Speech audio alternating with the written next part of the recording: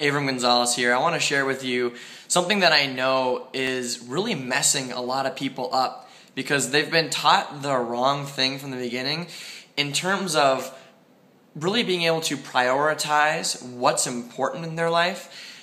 But the problem isn't isn't about the prioritizing part. The problem is in the way the priorities are actually created. And I, and I promise you, this will be a very different perspective than you've probably heard anywhere else. And the perspective is really this you know, traditionally you're taught how to make your priorities by making a list and doing number one, number two, number three, number four, number five, and so on and so forth. And what happens is, you know, you only have 24 hours in a day, right? Everybody has the same amount of time. But when you do your priorities this way, you go through priority number one, two, three, four, five, all the way down the list. But if you run out of time that day, whatever's at the bottom of the list gets left behind. It gets pushed under the you know under the rug and never to be seen again until hopefully tomorrow. And one of the things you have to get is that if you want to be successful, whatever that means to you, whether that means like having the happiness that you deserve, uh, having more money than you could ever spend, you know, or uh, traveling the world, or you know, creating creating bountiful businesses, amazing relationships, and et cetera, et cetera. You can't have priorities that work like that. Because here's the deal. You know, I got a couple priorities in my life, but I don't rank them because guess what? They are all the priority. They're the priority. So no matter how my day goes, I absolutely fit in the things that are important to me. You know, if it's too late at night and I'm getting tired, too bad. Too bad. If I didn't get those things that I've made my priority, I have to put them in. I have to make them happen. Because that's the exact mindset or standpoint or whatever you want to call it that I've been coming from for the last three years that has created the kind of success in, in my business and in my relationships that I'm enjoying right now. You know, you don't just make $20,000 in a month when you don't have your priorities straight. You know, because a lot of people will make that $20,000 in a month or whatever that target is for them, but their relationships will suffer you know, or they uh, don't get the exercise that they need. You know, their body goes on hold so that they can make all the work happen. And it's like, does that really work for you? You know, maybe family is a huge priority for you. And you know, I have a lot of people that that I work with on my team and stuff for our business that have families and they say, "Well, my children come first. And that's that's great. That's great. No way I'm going to knock that because your family is extremely important. The problem is, is that you've taken you out of the equation. You've taken you out of the equation. You know what I was reminded of, and I get reminded again and again when I when I ride on the airplanes to go on trips like we went to Houston this last weekend. They always tell you when the oxygen mask drops down, put yours on first, and then help the children or the adults that are acting like children around you with their masks. Right? They ask you to help you first. Because guess what? If you help them, but not you, what's going to happen? The entire airplane is going to be crashed out with people that didn't get the oxygen that they needed because they're trying to help somebody else.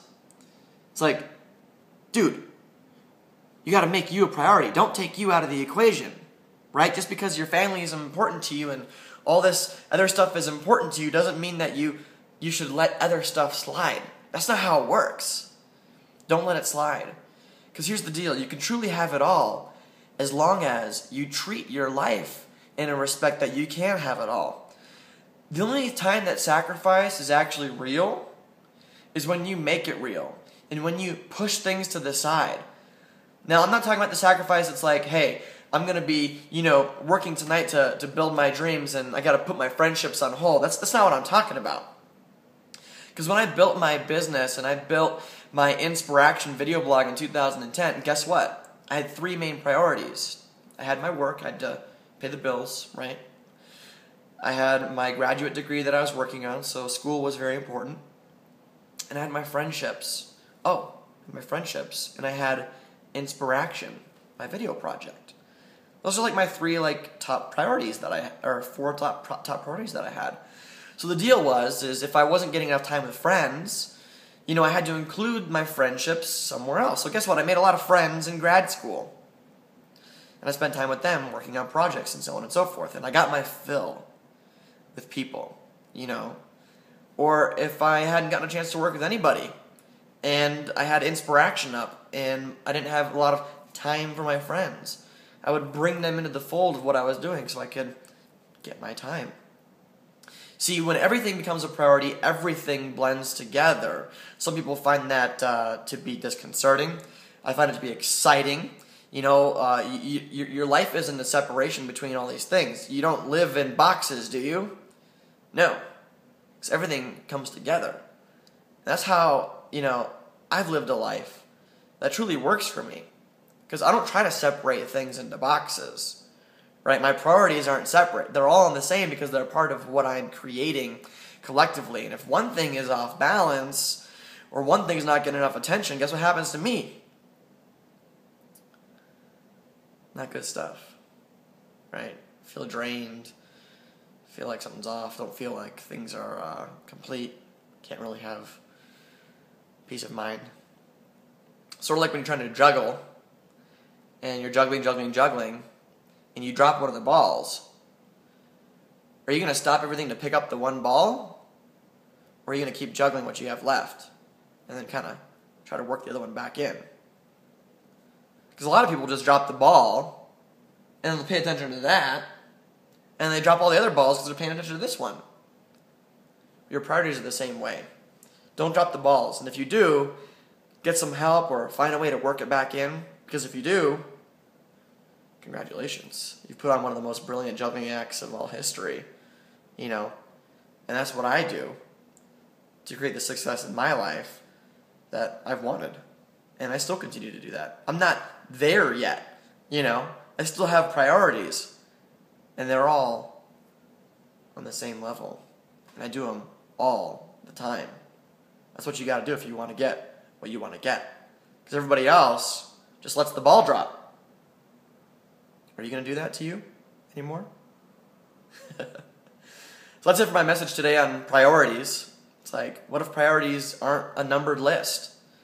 What if they're all a priority? that deserves your time, attention, and nurturing. So if you got something special out of this video, give it a thumbs up, share it on your Facebook, and make sure to subscribe to my videos if you want to see more, because I'm doing them like every day now, and uh, I'm really enjoying it. So thank you for watching my videos, and uh, if you got something special out of it, make sure you share it or comment below. Maybe you had an aha moment. I want to hear about it. All right? Bye for now from a very cloudy day in Boulder, Colorado. See you next time.